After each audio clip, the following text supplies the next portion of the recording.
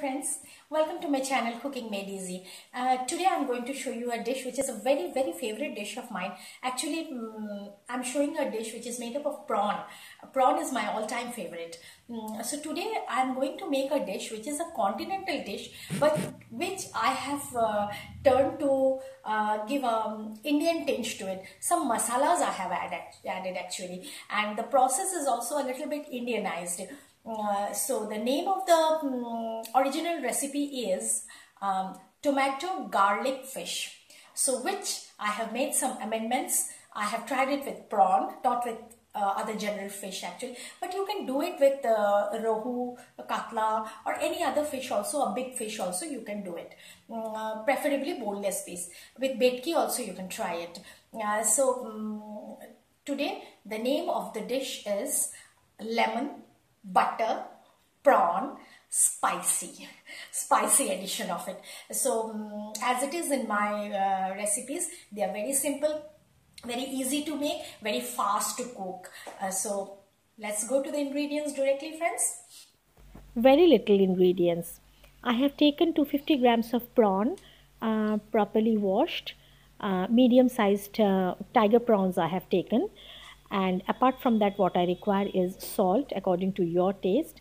And since it is a garlic prawn so I have taken a lots lots lots of garlic uh, not that finely chopped and some green chilies um, that too roughly chopped. This the amount of this you can amend according to your wish. And I have taken one teaspoonful of black pepper powder and one tomato I have crushed in my mixie you can use tomato puree also and I have taken uh, this Amul butter I will be using uh, a little bit of it from and uh, cilantro I have taken handful of cilantro you can substitute it with parsley also I'll say a little bit about the prawns. These prawns I have washed nicely, no marination, but I have deshelled them and deveined very nicely. You have to devein this very nicely, properly and very clearly. It, the prawn should be very clean actually. Now let's go directly to the process. I will be taking a heavy bottom non-stick pan and to this I will be adding the um, butter. Uh, I will be taking um, 25 grams of butter is enough. One fourth of um, a butter slab and to this I will be directly adding the garlics. No need to melt the butter or wait till the butter melts and after frying it for a minute or two I will be adding the green chilies. It gives out a lovely aroma when garlic is fried in the butter.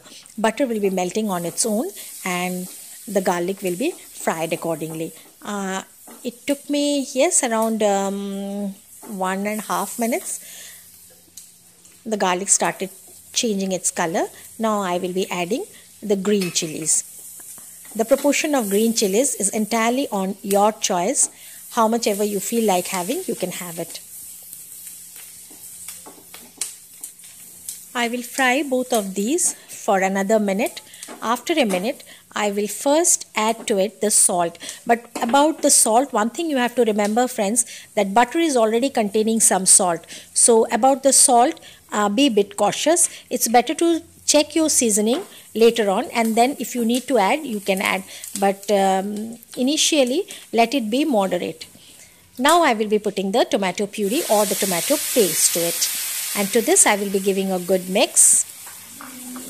When everything is mixed properly, I will be adding the prawns. As I said friends, I have taken 250 grams of medium sized tiger prawn. You can use a prawn of your own choice, but one thing you have to be very careful about, deveining and deshelling the prawns a thorough mix to everything now. And after mixing it for a minute I will be just covering it properly. When everything is incorporated it looks very homogeneous then I will be giving a cover. And after covering this I will be waiting for 2 minutes. Now my 2 minutes is over. And see the consistency. Yes this is exactly what the consistency I want the flame should have been high throughout. This is exactly the consistency I want. You have to check friends that how much time you take to have this consistency. To this I will be adding the black pepper powder and this handful of cilantro that I have. You can substitute this with parsley also as I said. But now friends I will be adding something which I didn't show you in the ingredients and actually this is I am incorporating for the first time. I'm adding these for the first time the dish when I'm making. I never used to add this but I had some uh, capsicum cut capsicums with me few pieces of capsicum that I will be adding to it and I feel it will be giving a good body and color to the dish uh, I'm adding this capsicum and one more thing I have friends that is a surprise this is also for the first time I'm adding to this dish this is few drops of honey I will be adding this few drops of honey and then I'll let you know how exactly uh, it tastes because this I am also using for the first time. So let's see how it turns out to be. And it looks very nice of course and uh, I will be leaving this covered. I will be giving a standing time to this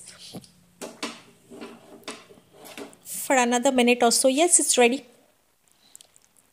Ready to serve and I've already served. Yes, this capsicum gave a very lovely color to the dish as I said and it gave a little bit of body also to the dish. It's looking wonderful.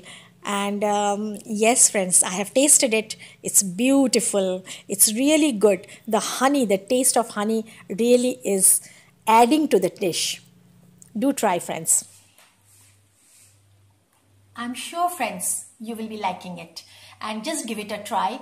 And um, I need some feedbacks actually from you all. When you are cooking it some of them are giving. And um, one more request. Those who are new to my channel uh, please subscribe my channel. And those who have already subscribed I'm really grateful to them. Thanks thanks thanks. A lot of thanks.